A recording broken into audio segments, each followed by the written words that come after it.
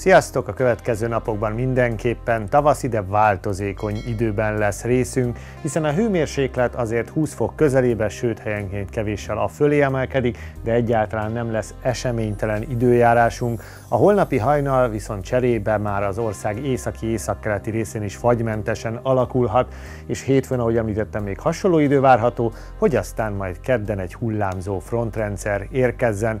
Nézzük meg a hőmérséklet előrejelzési térképet. Ugye a tegnapi nap során az áramlás élesen átfordult felettünk északiról délnyugatira, onnan pedig érkezik az enyhe levegő, de néha nedvesség is, ezért nem lesz eseménytelen az időjárásunk, és így az animáció vége felé láthatni egy közeledő hidegfrontot, amely nyugatról érkezik majd hozzánk, ez a hidegfront felettünk nem átvonul, hanem úgynevezett hullámot vet, ezért az átvonulása több napig tart, tehát jóval lassabban, mint egy klasszikus hidegfronté. Ezért ha megnézzük a csapadék előrejelzést például kedre, azt láthatjuk, hogy a Kárpát-medence térségében akár bőséges csapadék is hullhat, tehát több locsolásnyi 10-20 mm területi átlagban, ennek azért még egészen nagy a bizonytalansága, még a mai nap során is. Nézzük meg, hogy mi várható az előttünk álló éjszaka. Nyugat felől továbbra is érkeznek azért felhők, jó részt fátyolók formájában, tehát ezekből csapadék egyáltalán nem hullik majd, és különösen a Dunántúl északi felén fújni fog a déli délnyugati szél. Ott számíthatunk hajnalban a legenyhébb időre, mindössze 7-8 fok közelébe köré csökken a hőmérséklet, de ahogy említettem, úgy tűnik, hogy még az északi völgyek is fagymentesek lesznek, legalábbis két méteres magasságban.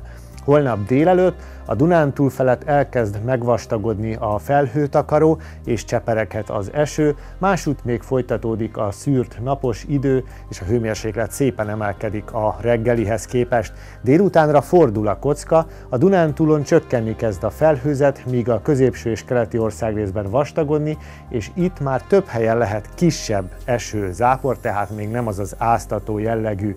A hőmérséklet viszont szép magasra, 15 és 21 fok közé emelkedik, az Alföldön számíthatunk a legenyhébb időre.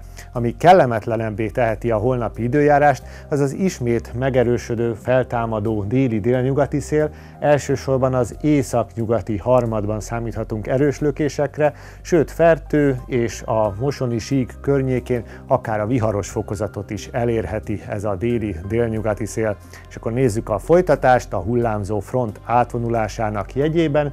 Ugye az majd valamikor kedden érkezik meg hozzánk, nagyon nagy különbség alakul ki a hőmérsékletben az ország nyugati és keleti tájai között, olyannyira, hogy délután például az Alpok alján a hőmérséklet 5 fok alatt alakul, és az aznapi csapadék, amely időszakos esőt jelent, akár még havas esőbe, a hegyekbe, havazásba is átmehet. Keleten viszont jóval 10 fok, sőt 15 fok fölé emelkedhet még a hőmérséklet, de ott is eshet. Aztán szerdán és csütörtökön még közelünkben lesz a front, illetve az abból képződött örvény, emiatt többfelé valószínű csapadék, most még bizonytalan, hogy hol és mennyi. Nagyobb eséllyel azért az ország északkeleti, keleti felén eshet még az eső, a hét közepén, sőt a második felének elején is, és ahogy látjátok, alaposan visszaesik a hőmérséklet, megint fagyveszélyes lesz a jövő hét második fele, de olyan kemény fagyokra, mint ezen a héten talán már nem kell számítani, és az is látszik erről a diagramról, hogy a kilábalás meglehetősen lassúnak tűnik ebből a lehűlési időszakból, illetve ebből a hűvösebb periódusból.